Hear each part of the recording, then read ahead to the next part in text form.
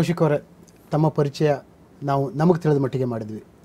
ಇದರ ಹೊರತುಪಡಿಸಿ ನಿಮ್ಮ ಪರಿಚಯ ನಮಗೆ ಏನು ಹೇಳ್ತೀರಿ?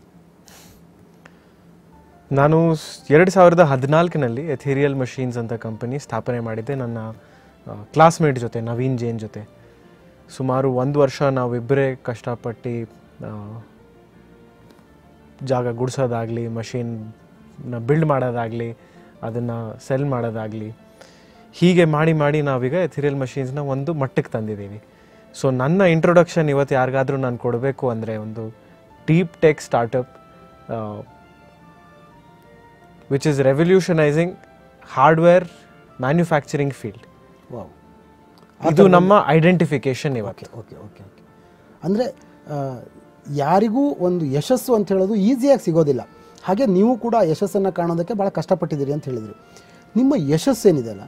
ಆ ಯಶಸ್ಸು ಕಾಣುವಂಥ ಸಂದರ್ಭದಲ್ಲಿ ನೀವು ಪಟ್ಟ ಕಷ್ಟ, ಅದು ಒಂದು ಸೈಡ್ ಆದರೆ ಆ ಯಶಸ್ಸನ್ನು ನಿಮಗೆ, ನಿಮ್ಮ, ಆ ಯಶಸ್ಸು ಬಂದು ನಿಮ್ಮನ್ನು ಅಪ್ಪಿಕೊಳ್ತಾ ಇದ್ದಾಗ ನಿಮಗಾದಂಥ ಸಂತೋಷಗಳು ನಿಮಗಾದಂಥ ಸಂತಸಗಳು, ಅಥವಾ ನಿಮಗಾದಂಥ ಆ ಒಂದು ಆಹ್ಲಾದಕರ ಭಾವನೆಗಳು ಹೇಗಿದ್ವು? ಇನ್ನೂ ಬಹಳ ಮಾಡೋದಿದೆ. ಇನ್ನೂ ಯಶಸ್ಸು ಇನ್ನೂ ತುಂಬ ನೋಡಬೇಕು ನೋಡಬೇಕು, ಇನ್ನೂ ಬಹಳ ಅನುಭವಿಸಬೇಕು. ಬಟ್ ಇವತ್ತು ನನಗೆ ಯಾರಾದರೂ ಕೇಳಿದ್ರೆ ನಿಮಗೆ, ನಿಮ್ಮ ಪ್ರಕಾರ ನಿಮಗೇನು ಅನ್ಸುತ್ತೆ ಸಕ್ಸಸ್? ಹೇಗೆ ಡೆಫಿನೇಷನ್ ಅಂದರೆ ನಾವು ಎಷ್ಟು ಜಾಸ್ತಿ ಈಗ ನಮ್ಮ ಮಷೀನ್ ಯಾರು ತಗೋತಾರೆ? ಅವರು ಸ್ವಂತ ಬಿಸ್ನೆಸ್ ಸೆಟಪ್ ಮಾಡ್ತಾರೆ. ಅವರು ಅವರ ಮನೆಯ ದುಡ್ಡು ಅವರು ಬ್ರೆಡ್ ಆ್ಯಂಡ್ ಬಟ್ರ್ ನಮ್ಮ ಮಷೀನಿನ ಜೊತೆಗೆ. ಅದರಿಂದ ಬರೋ ದುಡ್ಡಿಂದ ಅವರು ಅವರ ಮನೆ ನಡೆಸ್ಕೋತಾರೆ ಅವರ ಬಿಸ್ನೆಸ್ ನಡೆಸ್ಕೋತಾರೆ ಅದರಿಂದ. ಆ ಥರ ಎಷ್ಟು ಆಂಟರ್ಪ್ರಿನರ್ಸ್ ನಾವು ಸೆಟಪ್ ಮಾಡ್ತೀವಿ ನಮ್ಮ ಮಷೀನ್ಸಿಂದ ಅದು ನನಗೆ ಜಾಸ್ತಿ ಆದಷ್ಟು ನನಗೆ ಜಾಸ್ತಿ ಖುಷಿ. ನಮ್ಮ ಕಂಪನಿಯಿಂದ ಎಷ್ಟು ಜನ ಎಷ್ಟು ಜನರಿಗೆ ನೌಕರಿ ಸಿಗತ್ತೆ? ಎಷ್ಟು ಜನರಿಗೆ ನಾವು ಎಂಪ್ಲಾಯ್ಮೆಂಟ್ ಕೊಡ್ತಾ ಇದ್ದೀವಿ. ಸರಿ. ಅದು ಅದು ಜಾಸ್ತಿ ಆದಂಗೆ ನನಗೆ ಅಷ್ಟು ಖುಷಿ. ಒಬ್ಬ ಸಾಧಕನಿಗೆ ಅಥವಾ ಏನು ಅಚೀವ್ ಮಾಡೋದಕ್ಕೆ ಹೊಂಟದವನಿಗೆ ಯಾವಾಗಲೂ ಒಂದು ಇತಿಮಿತಿ ಇರಬಾರ್ದು. ನನ್ನ ಮುಗೀತು ಅಂತಲ್ಲ. ಆ ಥರದ ಮಾತು ನಿಮ್ಮ ಮಾತಿನಲ್ಲಿ ನಾನು ಕಂಡೆ. ಏನು ಅಂತಂದರೆ ನಾನು ಸಾಧಿಸಬೇಕಾಗಿದ್ದೇನೂ ಅಲ್ಲ. ಇನ್ನೂ ಸಾಕಷ್ಟಿದೆ. ಅದಕ್ಕೆ ನಾನು ನಿಮ್ಮ ಈ ನಿಮ್ಮ ಮಾತಿಗೆ ಈ ಮಾತಿಗೆ ನಾನು ಸಮ್ಮತಿಸ್ತೇನೆ. ಯಾಕೆ ಕೇಳಿದ್ರೆ ಒಂದು ಹಂತದಲ್ಲಿ ನಾನು ಸಾಧನೆ ಮಾಡಿದೆ ಅಲ್ಲಿಗೆ ನಿಂತ್ಕೊಳ್ಳೋದಲ್ಲ. ನಾನು ನೆಕ್ಸ್ಟ್ ಏನು ಮುಂದೆ ಏನು ಅಂತ ಹೇಳೋದು ಒಬ್ಬ ಏನು ಹೇಳ್ತಾರೆ ಉತ್ಸಾಹಿ ವ್ಯಕ್ತಿಯ ಮನೋಧರ್ಮ ಆಗಬೇಕು ಅಂತ ನಾನು ಇಷ್ಟಪಡ್ತೀನಿ.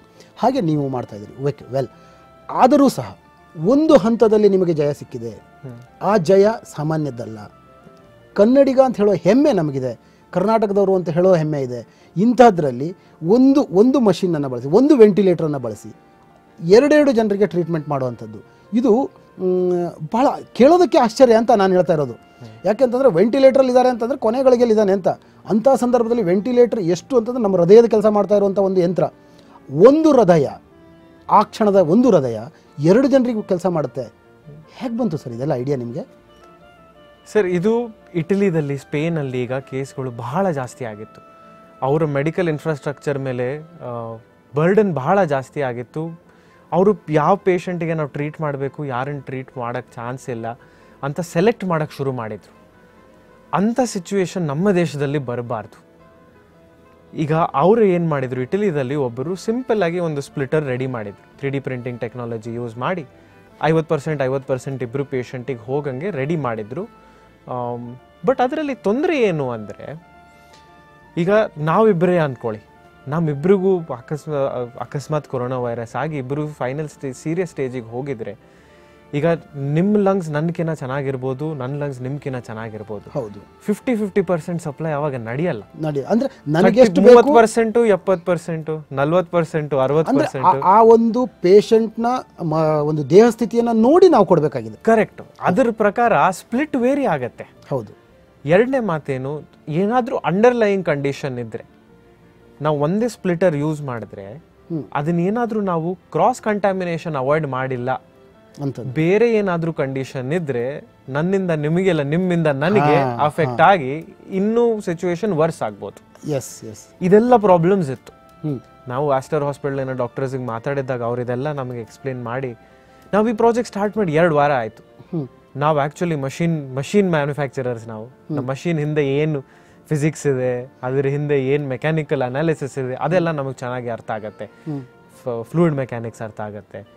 ಈ ಥರ ಇದ್ದಾಗ ಆ ವೆಂಟಿಲೇಟರ್ಗೆ ಹೇಗೆ ಇದು ಯೂಸ್ ಆಗತ್ತೆ ಹೇಗೆ ನಮ್ಮ ಎಕ್ಸ್ಪೀರಿಯನ್ಸ್ ನಮ್ಮ ಅನುಭವ ನಮ್ಮ ನಾಲೆಜ್ ನಾವು ಇದನ್ನು ಹೇಗೆ ಯೂಸ್ ಮಾಡ್ಬೋದು ಇಲ್ಲಿಗೆ ಅಂತ ಒಂದು ಮೊದಲ ಹಂತದ ಒಂದು ಅವಾಗ ನಮಗೆ ಅನಿಸ್ತು ನಾವು ಆ್ಯಕ್ಚುಲಿ ಇಲ್ಲಿ ನಾವು ಒಂದು ಸ್ವಲ್ಪ ಸಹಾಯ ಮಾಡ್ಬೋದು.